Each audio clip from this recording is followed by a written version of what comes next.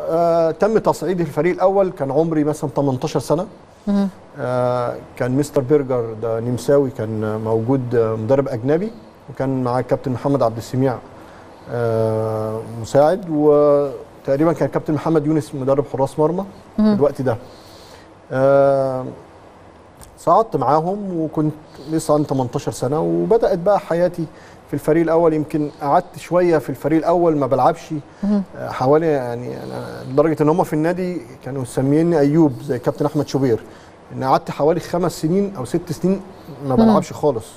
بتمرن بس مع الكابتن أحمد صابر والكابتن طارق سليمان. نادي المقاولين العرب يمكن مش نادي جماهيري لكن نادي مختلف نادي كبير نادي عنده تاريخ نادي تقيل زي ما بيقولوا وفي إمكانيات كويسة. هل ده ساعدك؟ طبعا. المنظومه منظومة آه، من وأنا صغير شايف الاحتراف في نادي المقاولين. يعني إحنا كقطاع ناشئين آه، كنت بروح النادي. طبعا في ملاعب كذا ملعب للقطاع. آه، في نظام في التدريبات.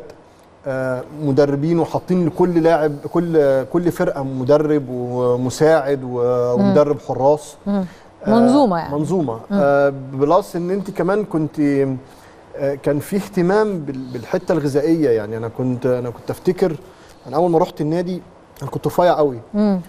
ف ف كابتن حمدي سكله قال لي إن إحنا هنعمل لك فحوصات في المركز الطبي طبعا المركز الطبي جنب النادي أو في النادي. اتعمل لي فحوصات طبعا طلع عندي اكتشفوا إن أنا عندي أنيميا. عالجوني منها. يعني ده ده ما بي... أعتقدش إن في دلوقتي آه، حد بيحصل له كده إن إن بيهتموا بالناشئين للدرجة دي. إن مم. أعمل له فحوصات أعمل له تحاليل أعمل له حاجات.